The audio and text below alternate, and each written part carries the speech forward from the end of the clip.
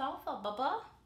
Hey guys, welcome to today's video. I'm gonna start it off by saying I've seen the comments two or three people who are not keen to seeing uh, the baby on video or hearing the baby in the background. Listen, I have a kid, okay? I have more than one kid. Um, and the little one really needs my attention at all times and I'm willing to give it to her. So I'm not gonna apologize for her being in the background. I'm not gonna apologize for her being on screen. Most people actually enjoy it. If you don't like that, then maybe this video is not for you. I'm gonna tell you that right now, okay? Okay, I love you anyways, and I'll see you guys on the next video. With that said, let's talk about the BoxyCharm price increases. I've been meaning to do this video. I've seen the DMs.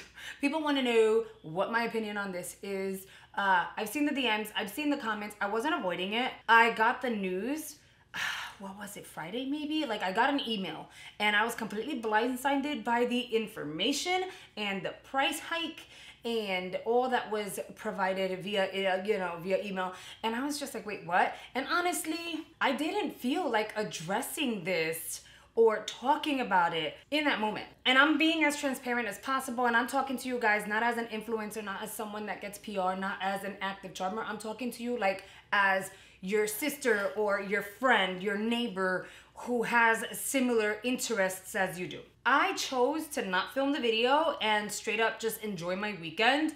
Um, I had a long weekend ahead of me, and I knew for a fact there was nothing that I could say to make you or anybody feel better. A, I don't work for BoxyCharm. B, I had no idea this was happening. And C, I have no idea what's gonna happen in the future. This video is not to sit here and hype you guys up and tell you, stay subscribed, don't cancel, because there's so many amazing things coming your way.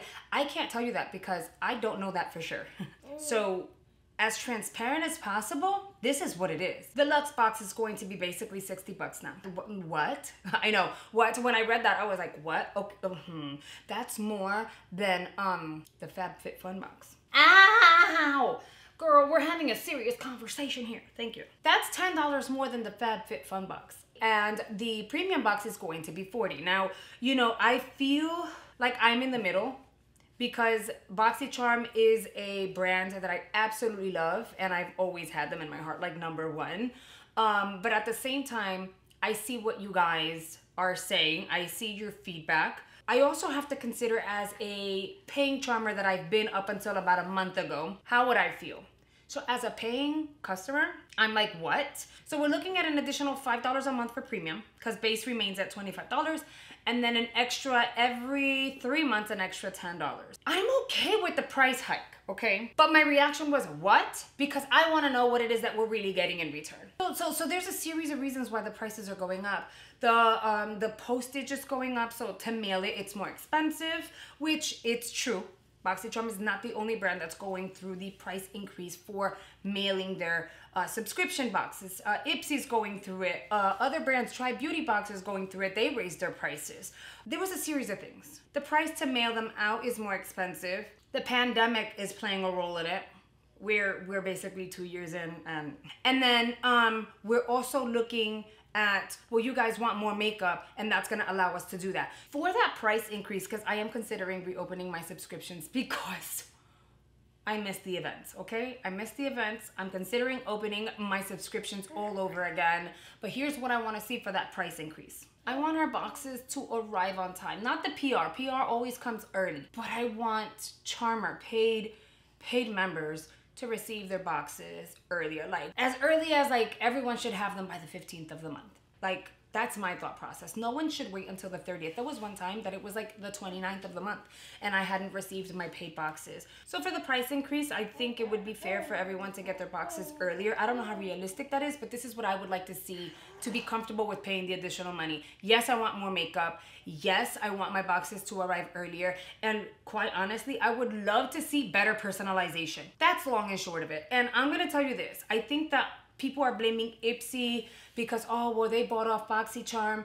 Ipsy's personalization is amazing. And honestly, I've always received my paid Ipsy early in the month. So one, you know, like Ipsy versus BoxyCharm, Ipsy has had their stuff down packed. And now that Ipsy purchased BoxyCharm, I think that we are going to see improvements. And I've said it behind the scenes to certain people, so I'll say it here. I don't think the acquisition was a bad idea For the longest, Charmers have been asking for BoxyCharm to release an official app, but Ipsy has one.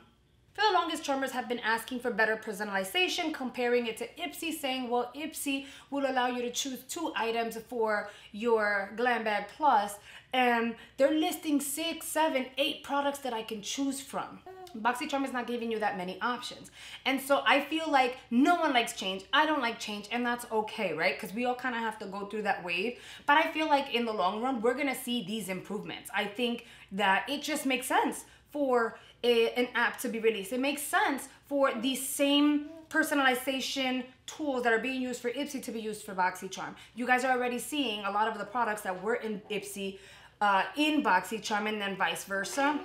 A lot of the products are being uh, cross-referenced. So I think it's a matter of time. I definitely think it's it's it's it's a waiting game for us to see all the improvements and all the changes. So if that all were to happen, then it's totally worth paying the price increase, in my opinion. I know that my feedback and my opinions kind of seems scattered all over the place, but I'm just comparing Ipsy versus BoxyCharm. I'm trying to revisit so many comments from you guys and then the feedback that we're getting from BoxyCharm as to what it is that we are going to see. And that's all that I can really come up with in my mind. I hear everything that you're saying, everything that you're explaining to justify the price increase, but also what are we going to get in return realistically for these price increases? I'm literally saying what I would love to see happen. I'm saying what you guys would love to see happen. So hopefully it is something that comes into fruition and we actually see it happen.